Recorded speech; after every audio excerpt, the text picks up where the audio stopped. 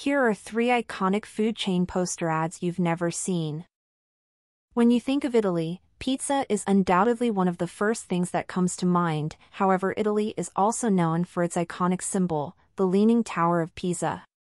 Pizza Hut cleverly took inspiration from this romantic European country by giving their own twist.